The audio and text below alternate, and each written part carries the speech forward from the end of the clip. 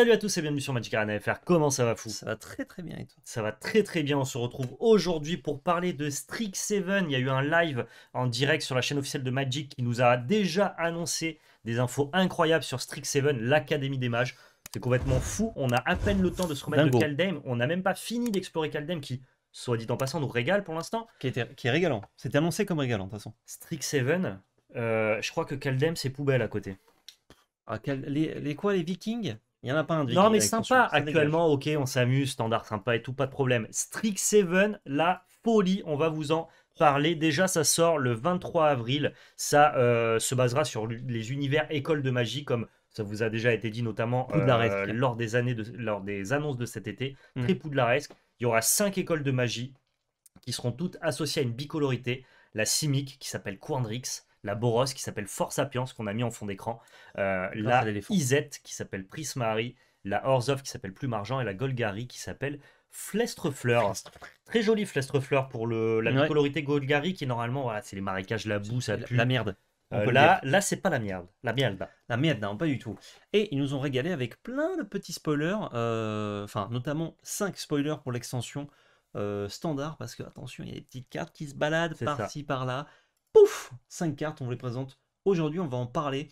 euh, parce que dans un point news, ça rentrait, mais le plus important c'était d'en débattre, de dire ce Ouais, qu'on bien en sûr. pensait. Voilà. Elles sont un peu floutasses, j'ai pas pu avoir de cartes de meilleure, euh, enfin de visuel de meilleure qualité bien. réseaux, euh, mais c'est parce qu'il y a beaucoup de texte aussi. On voit que la IZ elle est un peu moins floue, euh, notamment. On commence par peut-être le meilleur, la meilleure des cartes de Magic, commandement de Force Sapiens?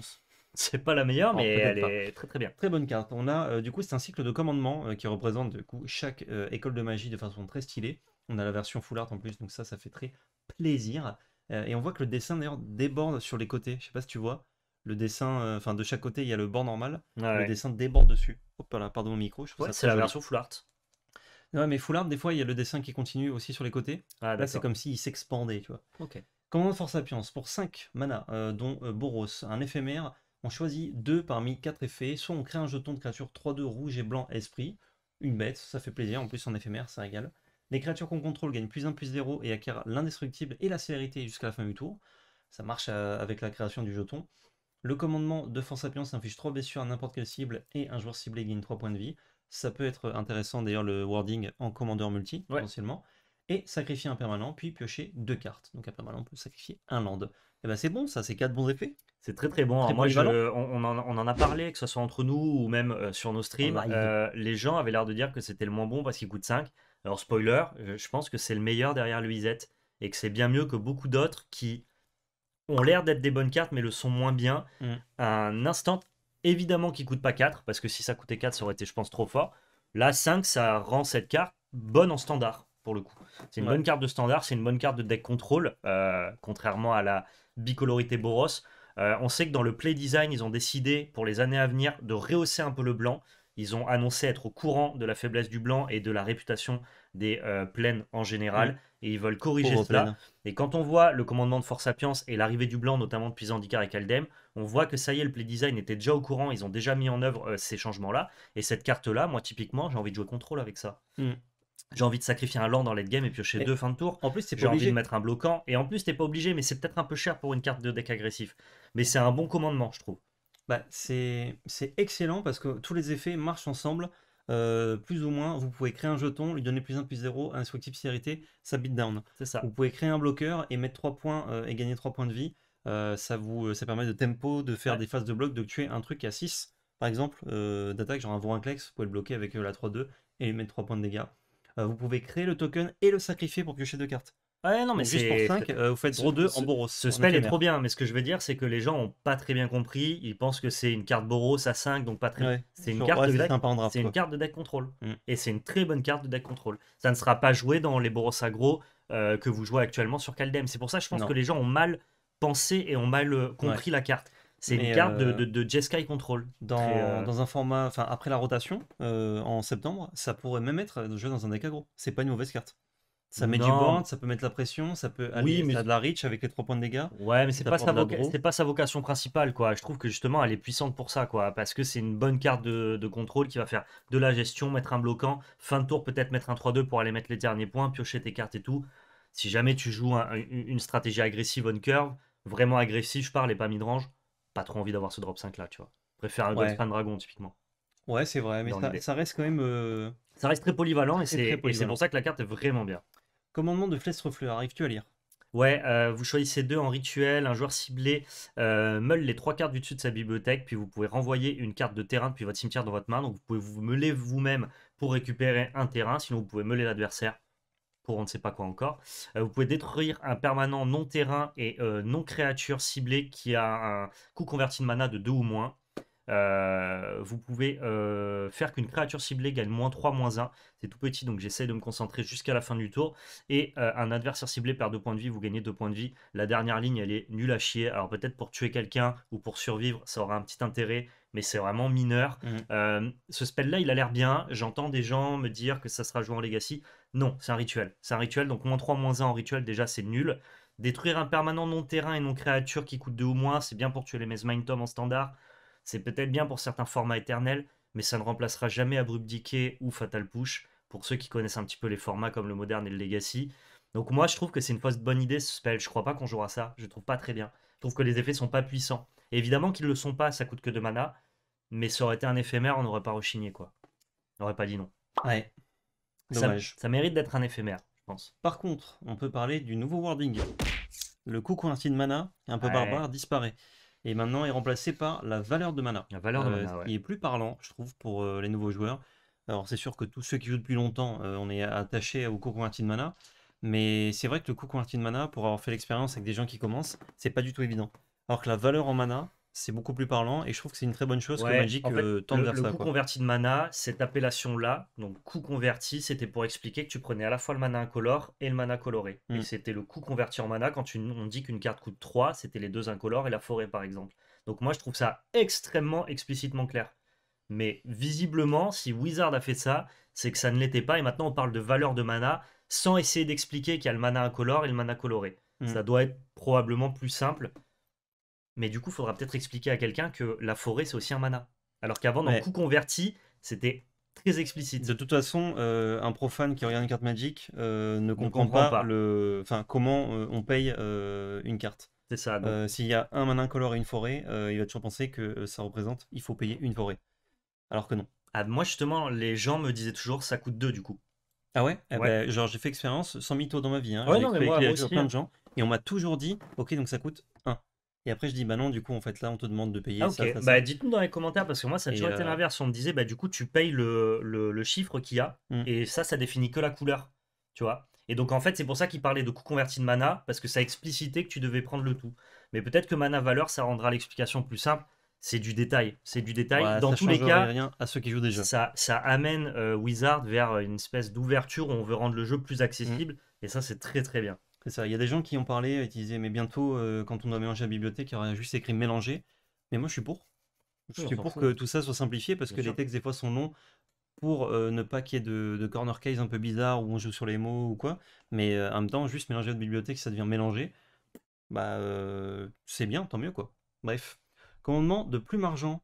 Ok, pas bien celui-là? C'est un rituel, donc. Euh... Rituel. en rituel, c'est non, quoi. Pour 4 mana, euh, dont 2 mana hors, enfin un mana noir, un mana blanc, choisissez 2, toujours pareil, c'est toujours pareil, on doit choisir 2 dans un commandement. Une créature ciblée gagne plus 3 plus 3, acquiert le vol jusqu'à la fin du tour. C'est même pas un tricks de combat du coup. Renvoyez sur le champ de bataille depuis votre cimetière une carte de créature ciblée avec un, une, euh, j'allais dire un coup de mana, une valeur de mana inférieure ou égale à 2. Euh, un joueur ciblé pioche une carte et perd un point de vie, un adversaire ciblé sacrifie une créature.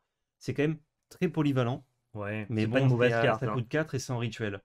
Euh, alors effectivement, euh, le faire sacrifier une créature, réanimer une bête, c'est pas mal. Euh, le petit côté pioche, c'est comme l'effet drain de vie en Golgari. Ça permet juste, quand vous n'avez pas de deuxième bon effet, bah, d'avoir un effet utile à utiliser dans n'importe quel cas. Le plus 3 plus 3 vol, vraiment, on s'en fout. Un petit peu. Ouais. C'est pas dans ces couleurs qu'on veut le faire, ça aurait été plutôt dans le, deck- dans le Je commandement trouve ça quand même meilleur que le commandement Golgari. Hein. C'est meilleur, mais Oui, ça me fait ça pas, vraiment très ça moyen. me fait pas vibrer. Il faut savoir Le quand même c'est que le coup et la, rapidité, quoi. les, Rituel. les euh, joueurs de Magic adorent les commandements. C'est souvent des cartes qui sont Mm. extrêmement puissantes, qui ont designé leur format standard, ou alors qui designent aussi certains formats éternels, même notamment des formats comme le Commander et tout. Donc on s'attend toujours à des effets vraiment. Peut-être que vous avez l'impression qu'on les juge sévèrement. On les contextualise avec tous les autres euh, commandements qu'on connaît Mm. et on les contextualise dans le standard dans lequel ils vont être joués. Et encore plus avec leurs autres euh, collègues commandements. Et en plus, voilà, en référentiel avec les autres qui, qui, du coup, certains sont très bons. Je pense au Boros et, et à Lisette, on en parlera Mm. tout à l'heure. Donc, effectivement, euh, Plume Argent me fait pas, euh, me fait pas vibrer, quoi. Effectivement. Passons aux commandes Quandrix, qui est également très très bon, je trouve, par rapport à son coût. Ah, justement, je suis un peu, un peu mitigé, moi. Commandement. Quandrix, on sent d'ailleurs que Wizard a aussi envie d'abaisser euh, Simic au global, qui est Mm. la, la bicolorité dominante dans l'univers de Magic actuellement. Et tu sens aussi que voilà, ils, ils ont pas fait piocher euh, ce commandement-là. Tu vois, c'est bleu-vert et ils ne l'ont pas fait piocher. Et Heureusement. c'est et c'est une vraie volonté pour le coup. Il coûte un incolore, un vert, un bleu euh, en éphémère. Vous choisissez deux. Vous renvoyez une cible, créature ou planeswalker dans la main de son propriétaire. Ça peut être une des vôtres, ce qui est intéressant. Vous pouvez contrecarrer un sort d'artefact ou un enchantement ciblé. C'est bien en standard actuellement parce qu'on a beaucoup euh, de permanents de ce type entre les sagas, les Cromlech, les, les Umbercliff qui sont vraiment puissants pour le coup. On met deux marqueurs plus un plus un sur une créature ciblée. Ça fait euh, souvent tricks de combat, un peu anti-bet, Mm. sur une phase de bloc. On sait que le standard n'est pas le, format où il y a le plus de phases de, de bloc et compagnie, mais pourquoi pas. Un joueur ciblé mélange jusqu'à trois cartes de son cimetière dans sa bibliothèque. C'est quand même vachement plus anecdotique ça, pour le coup. Ouais. Ça peut avoir Ça un peu contre Rogue. Ça aurait pu gérer Uro qui lui n'est plus là. Il est pas, il est pas mauvais ce spell. Hein. Je crois pas avoir envie de jouer ça actuellement. Je pense pas que ce soit une carte de main deck, mais je crois que c'est une excellente carte de side, parce que euh, Boonsay, euh, genre sur une phase d'attaque par exemple, euh, contre une Ambercleave, Boonsay une créature, c'est quand même ultra bien. Ben, en fait, oui, mais non, parce que justement, la polyvalence de ces cartes-là te demande de les jouer main deck, alors qu'en side, tu as le droit d'avoir des cartes très étroites. Et du coup, si tu, en side, tu vas avoir genre 10 solutions, quoi. Contre un artefact ciblé pour un mana, tu vois. Bah, là en fait c'est plus polyvalent, donc ça, ça évite que ta carte très étroite ne se serve que à faire du 1 pour 1, tu vois ce que je veux dire Ça va te permettre de, de t'adapter plus facilement, euh, suivant la situation, parce que là on prend toujours euh, Ambercleave Bien Gold, hein, ouais. mais, euh, mais tu pourras peut-être faire d'autres choses, ça va dépendre des decks aussi, euh, de pouvoir Mais reprendre un truc dans ta main. L'avantage que tu puisses même- faire d'autres choses, c'est pour ça que tu veux la jouer Ouais. main deck, je pense. Je sais pas si. Ouais. Je trouve que la carte, elle est quand même vachement intéressante. Euh, genre, le, le bounce, le contre euh, sont vraiment bons. Les marqueurs, ça dépend. Si tu joues pas de bête, c'est nul. Tu trouves pas qu'il lui manque piocher une carte sur cette carte-là? Je trouve que la troisième ligne, ça aurait pu être un joueur ciblé mélange de trois cartes, piocher une carte. Eh ouais, Ça aurait mais, pas été gênant. mais là, du coup, ça, ah si, ça aurait rendu la carte vraiment bien, je pense. Je trouve que justement, c'est vraiment fait exprès pour que ça soit ok, tu vois. Ouais, c'est pas pété, c'est sûr. En Non, même temps, vu que Simic, c'est un peu pété depuis.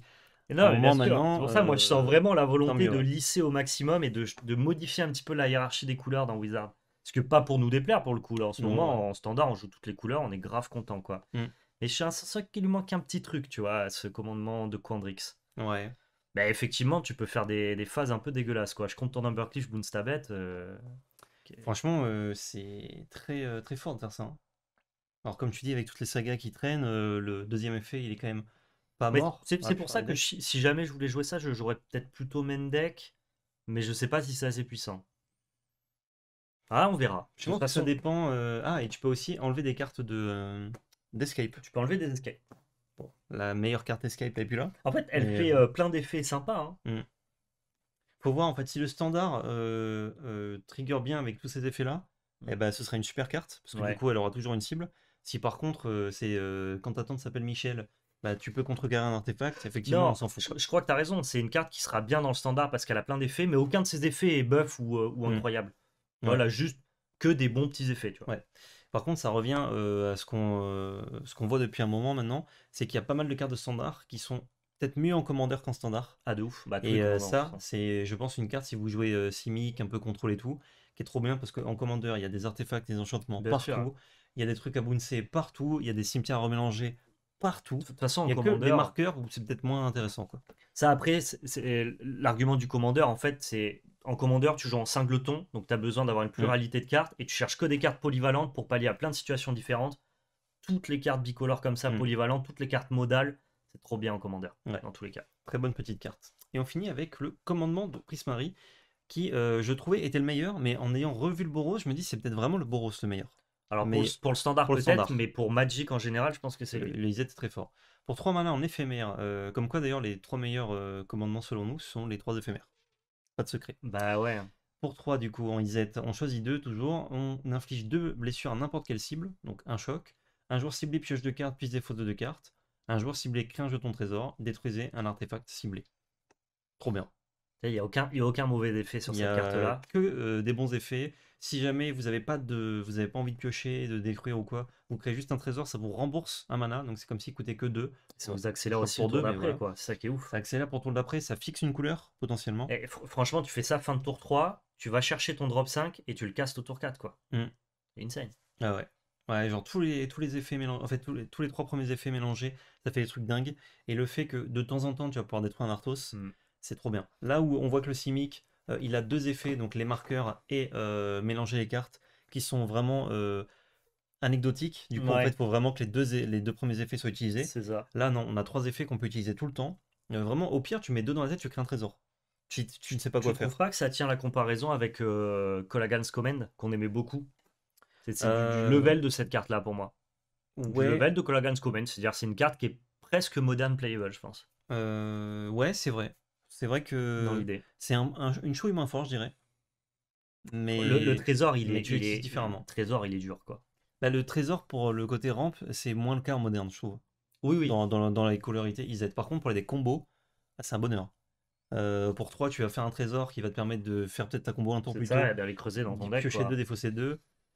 Euh, Storm, il est content, je pense. Ouais, même les deux, tu les mets où tu veux la cible, donc tu peux aller la mettre dans un Mm. planeswalker, tu peux aller la mettre dans la tête pour finir. Franchement, je crois que cette carte-là, en vrai, en standard, ça va être un peu anecdotique, ça sera joué dans les decks contrôle. C'est une bonne carte, mais ouais, c'est moins, moins Par contre, je pense qu'en que- et peut-être en moderne, ça verra un peu de jeu. Mm. Les gens l'ont vu jusqu'en Legacy, ça, moi, je, je, je suis un peu plus. euh, Ouais, c'est. Quand même, ça reste un spell à 3. Si ça coûtait 2 Ah bah là, c'était fini. en quoi. Legacy, C'était c'était euh, juste euh, infiniment mieux que Charm 17, du coup. Et le fait que ce soit un joueur ciblé pour les deux effets, d'ailleurs, euh, c'est encore bien pour le commandeur multi. Ah, c'est trop bien. Vous pouvez proposer des deals en mode tiens, vas-y, pioche 2, défausse 2, et, euh, et toi, tu vas créer un trésor. Combien de fois il y a un joueur à votre table, si ça n'est jamais arrivé, vous mentez, vous ne jouez pas en commandeur multi Combien de fois un joueur a dit est-ce que quelqu'un peut me prêter un mana? Voilà. Ou est genre, ah putain, euh, j'ai pas de mana, regarde le joueur qui rampe, il dit vas-y, tu m'en prêtes. Tu dis, et bah moi, là, le joueur civique, le joueur IZ, il dit bah tiens, un trésor, cadeau. Je te prête Par contre, je suis ta bête. Comme ça, ça fait un deal euh, Mossad, tu vois, genre, ah, c'est c'est pas. Moi, Strixhaven, pour l'instant, le seul truc oui. que j'ai envie, c'est de jouer Jeskai Control avec des commandements de Force Sapiens et des commandements de Prismari. Voilà. Et ça va être juste bien. Oh, c'est beau ce que tu me dis là.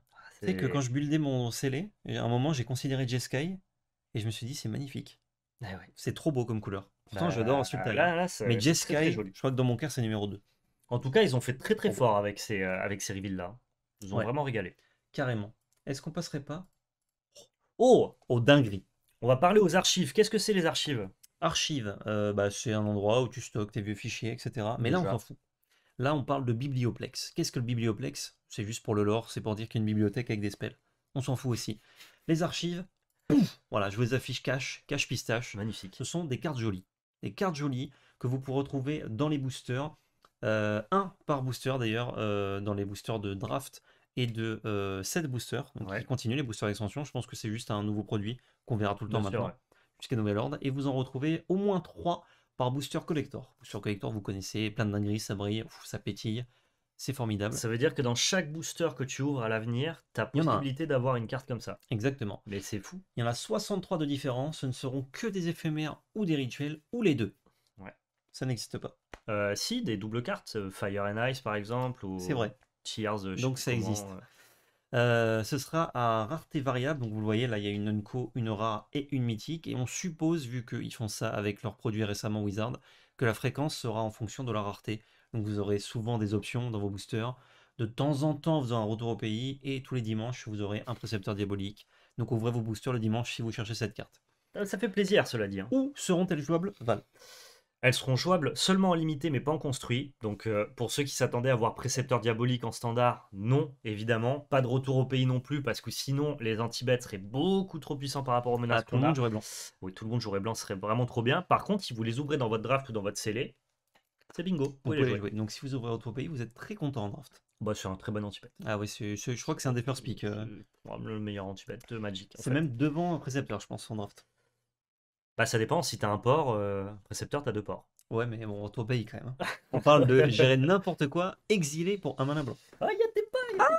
Il y a débat, il y a Dites-nous dans les commentaires votre Bon, en tout cas, voilà, ça va rendre les drafts vraiment euh, funky, intéressants, sympas. Il y en a qui Mm. vont ouvrir des Et les qui scellés. vont être là en mode bon, bah, je m'en fous. Euh, les scellés, ça va peut-être les casser un peu. Je pense qu'il y a beaucoup de gens qui sont pas très fans de pouvoir jouer en limité les cartes qui sont rajoutées de manière supplémentaire aux extensions. Ouais. J'imagine que Wizard a bien pensé ça, a bien designé ça, et dans tous les cas, ils peuvent très bien dire Mm. du jour au lendemain, si le format est pas sain, vous ne jouez plus les cartes archives. Ça, c'est pas très très grave. Par ça. contre, ça régale que Wizard nous donne accès à ça gratuitement. booster. Chaque booster. Mm. On n'a pas l'information de si les boosters ont augmenté en termes de prix. Euh, on n'a pas l'information et on ne non, sait pas si ça prend un slot du booster ou si c'est une carte en plus. Ça, on n'a pas toutes les infos encore, mais en tout cas, si en l'état, c'est juste Mm. une carte supplémentaire et que le prix ne bouge pas, merci Wizard. Exact. Et euh, pareil, autre info qu'on n'a pas vu, euh, on vous met le- l'article hein, de Wizard en description hein, pour tout ce dont on parle dans la vidéo. On n'a pas trouvé l'info de si ces cartes sont uniquement foil ou pas. Ah oui, c'est Parce qu'elles sont en foil, ça c'est sûr. Ouais, Mais on ne sait pas si elles sont que en foil notamment ou la nouvelle rareté foil. Notamment la nouvelle rareté. Ne dis pas tout, Parce que c'est pas fini en fait. Parce que c'est pas fini. Euh, Qu'est-ce que je voulais dire? Euh, Oui, euh, pourquoi ce sont des sorts? Parce que c'est par rapport à l'école de magie, tout ça. En gros, c'est un petit peu un, voyage dans la bibliothèque de Strixhaven où il y a les sorts qui sont rangés dans une bibliothèque magique. Et du coup, pour régaler les nouveaux arrivants à l'école des mages, à l'académie des mages, eh ben, ils sortent leurs plus beaux spells pour montrer de quoi ils sont capables. Voilà, petite explication flavor, ça régale. Il y a également Et là, et là, c'est le moment où le zizi de tout le monde se lève. Il a ça. C'est fou. Ça, euh, ce ne sont pas des posters, bien que ça peut. Ce sont les mêmes cartes qu'on vient de vous présenter, exactement les mêmes, mais en version japonaise euh, de ces archives. Donc incroyable, Ah, c'est fou. hein. incroyable et habilleux. Euh, où est-ce qu'on peut trouver ces versions-là, Val?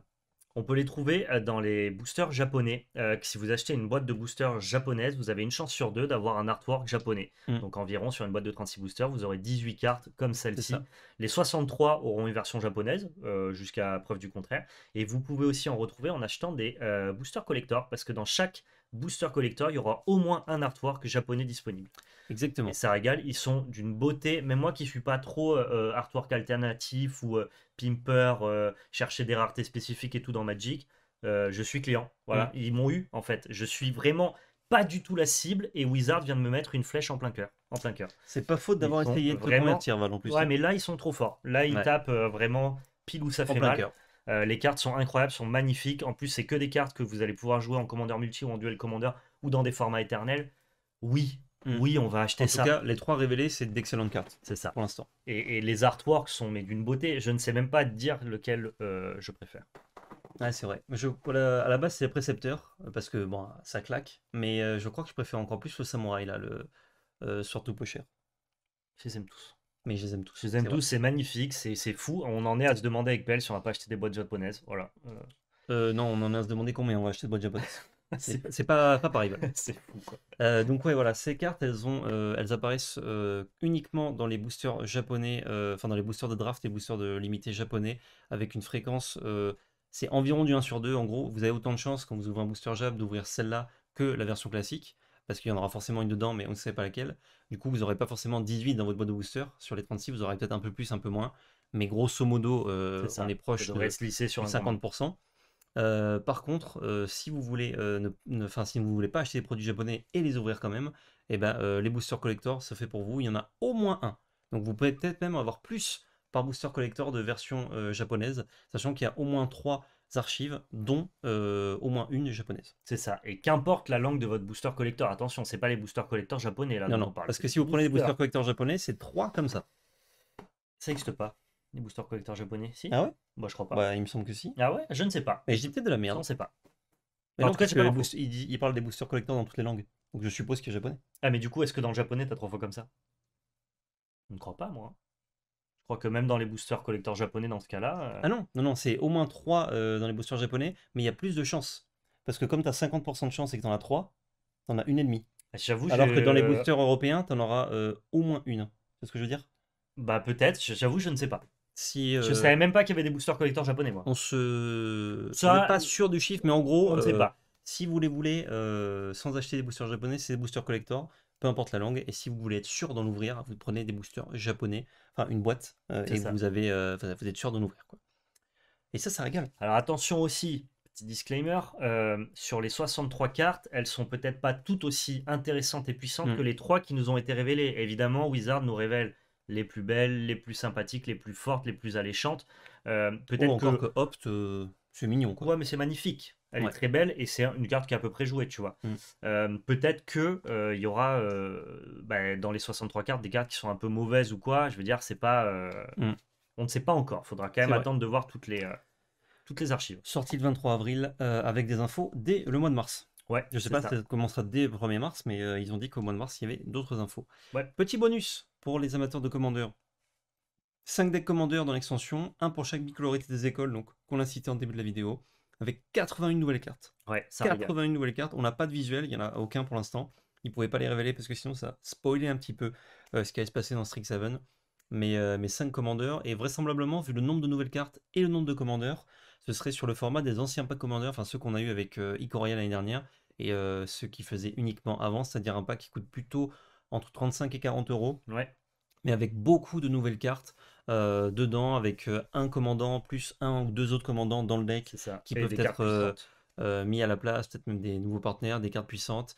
Euh, souvent, on a une voire deux cartes très puissantes qui, qui coûtent cher, donc le pack est souvent très rentable. Pour ceux qui jouent commandeur, euh, c'est un très bon investissement d'acheter un de ces packs, voire même de tous les En tout acheter. cas, chaque année, les gens attendent les 5 decks commandeurs qui vont designer un petit peu les- le, le- le format dans l'année. Et voilà, Mm. on, est, on, on a hâte de voir ce qu'ils vont nous proposer avec les bicolorités de Strixhaven. Donc, du coup, vous savez au moins quelles seront les bicolorités qui vont être mises en avant. Et effectivement, il y a un Golgari. Ça, ça fait Il y plaisir. a un Simic aussi.